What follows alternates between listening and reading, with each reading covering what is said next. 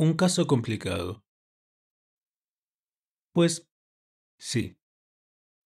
Cuyo padre era amante, con un alfiler de corbata, amante de la mujer del médico que había tratado a su hija, quiero decir, de la hija del amante. Y todos lo sabían.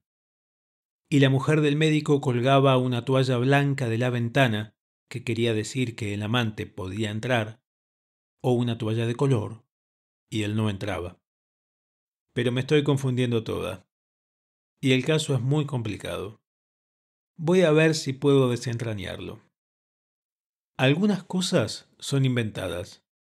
Pido disculpas, porque además de contar los hechos, yo también adivino y escribo lo que adivino. Yo adivino la realidad. Pero esta historia no es de mi cosecha. Es de la zafra de quien puede más que yo. Pues la hija tuvo gangrena en la pierna y tuvieron que amputarla. Jandira tenía 17 años, era fogosa como un potro, joven y de cabellos hermosos.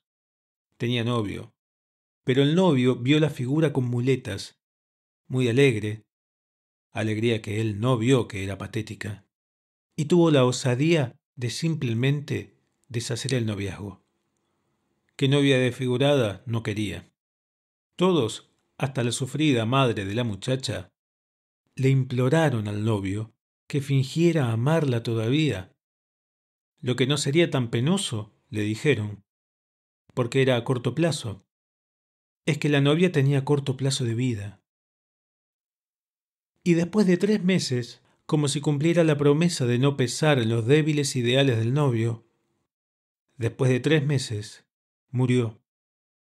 Linda, con los cabellos hermosos, inconsolable, con nostalgia del novio, y asustada con la muerte como niña que tiene miedo de la oscuridad. La muerte es muy oscura. O tal vez no. No sé cómo es. Todavía no morí. Y cuando haya muerto, no lo sabré. ¿Quién sabe si es tan oscura? La muerte, quiero decir. El novio era llamado por el apellido, Bastos, y al parecer vivía, todavía en tiempos en que la novia no había muerto, vivía con una mujer, y con esta continuó para seguir contando. Bien, esa mujer un día tuvo celos. Y tan perfecta como Nelson Rodríguez, que no olvida los detalles crueles. Pero ¿Dónde estaba yo que me perdí? Voy a empezar todo de nuevo, y en otra línea y párrafo aparte para hacerlo mejor. Bien. La mujer tuvo celos, y mientras Bastos dormía, deslizó agua hirviendo del pico de la caldera dentro del oído de él, que solo tuvo tiempo de dar un grito antes de desmayarse. Grito ese que podemos adivinar por lo horrible Bastos fue llevado al hospital y permaneció entre la vida y la muerte, esta en lucha feroz con aquella.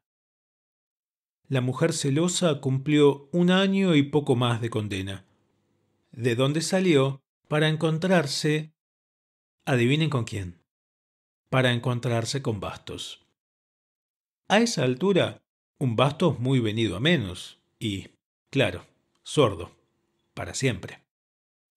Él, que no perdonaba los defectos físicos. ¿Y qué sucedió? Pues que volvieron a vivir juntos, amor para siempre. Entretanto, la muchachita de 17 años había muerto hacía mucho tiempo, dejando recuerdos en la madre.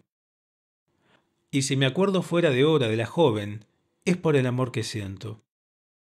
Ahí es cuando entra el padre de ella, como quien no quiere la cosa continuó siendo amante de la mujer del médico que había tratado a su hija con devoción. Hija, quiero decir, del amante. Y todos lo sabían, el médico y la madre de la exnovia. Me parece que me perdí de nuevo. Está confuso. Pero, ¿qué puedo hacer? El médico, que sabía que el padre de la joven era el amante de su mujer, cuidó mucho de la noviecita asustada con la oscuridad de la que hablé.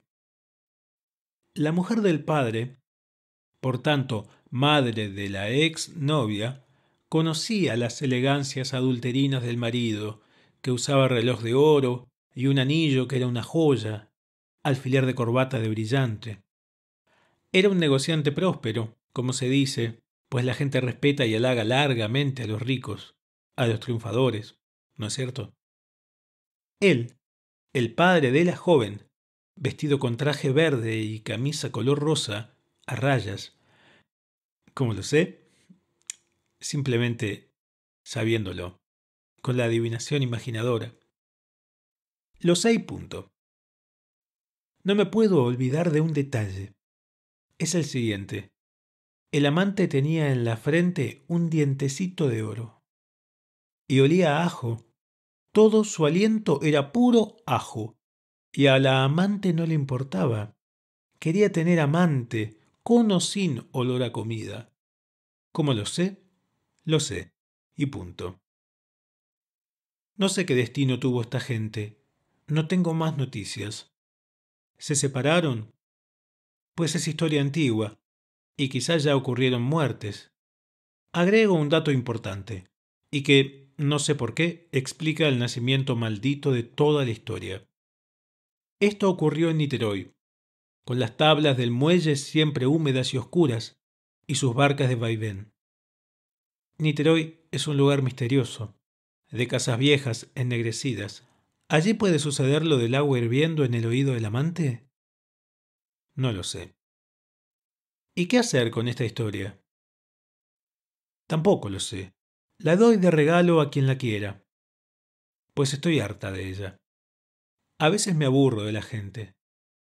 Después pasa y otra vez me siento curiosa y atenta. Es solo eso.